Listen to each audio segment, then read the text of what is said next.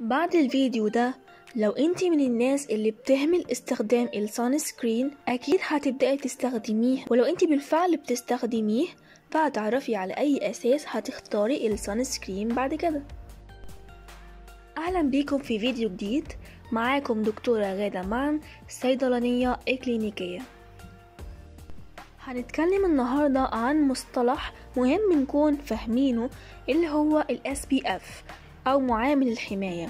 ونعرف كمان الفرق بين ال sunblock وال sunscreen ولكن قبل ما نفهم الدنيا دي لازم نعرف أهمية إني أستخدم sunscreen أو sunblock أصلا. هتقولوا لي يا دكتور مش محتاجة يعني. ال sunblock بيحمينا من الشمس. هقول لكم طبعا كلامكم صح. بس اللي مش عارفينه إنه مع المداومة في استخدام ال sunscreen مع الوقت هيقلل من ظهور التجاعيد. مش بس كده ده كمان بيحمي من ترهل البشرة والبقع الداكنة. والأهم بقى من ده كله المنظمات الطبية ومنها جمعية السرطان الأمريكية American Cancer Society بتنصحنا دايما باستخدام ال sunscreen لأنه بيساعد على حماية الخلايا بتاعتنا إنها تتحول لخلايا سرطانية. بنلاقي كده دايما في ال sunscreen مكتوب SPF 15 أو SPF 30 أو SPF 50 أو غيرها. يعني إيه الكلام ده؟ مصطلح SPF هو اختصار ل Sun Protection Factor اللي هو بالعربي معامل الحماية من الشمس. يجي يقولك مثلا ال sunscreen الفلاني معامل الحماية بتاعه 15 ده معناه إن لكل 15 أشعة ضارة أشعة واحدة بس. اللي بتوصل لبشرتنا والباقي ال sunscreen بيمتصه أو بيعكسه ومش بيوصل للبشرة. وطبعا كل ما رقم ال SPF زاد يبقى الحماية زادت.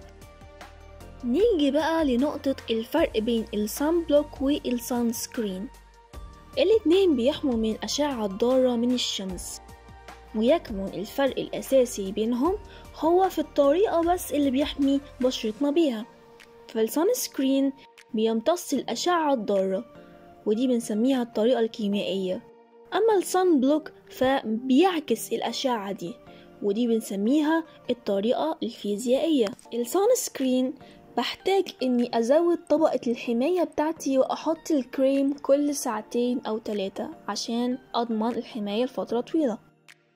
لكن الجميل في ال sunblock إني مش بحتاج أحط منه أكتر من مرة لأن المكونات بتاعته بيفضل مفعولها لفترات كبيرة. طب أنا هعرف ال sunblock من ال sunscreen إزاي؟ لو هو sunblock هتلاقي في المكونات بتاعته حاجة من الاتنين دول يا إما zinc oxide يا إما titanium dioxide أو الاتنين مع بعض. غير كده فهو sunscreen آخر حاجة بقى في الحياة الواقعية كلمة sunscreen كده لوحدها من غير ما أحطها في مقارنة مع ال sunblock فبتكون كلمة عامة شاملة الاتنين شاملة ال sunblock وال sunscreen إنما لو قلت sunblock وسكت فأنا حددت بالظبط النوع اللي أنا عايزاه اللي هو بيعكس الأشعة الضارة مش اللي بيمتصها. وبكده نكون وصلنا لنهاية فيديو النهاردة. وأحب أنهي الفيديو بمقولة دكتور إبراهيم الفقي رحمه الله. يوم واحد بإمكانه تغيير كل شيء لتبتسم. ما تنسوش تعملوا like و share subscribe لو استفدتوا بالمعلومات لو عندكم أي استفسارات قولولي في ال comment استنوني في فيديو جديد بمعلومات قيمة جديدة. والسلام عليكم.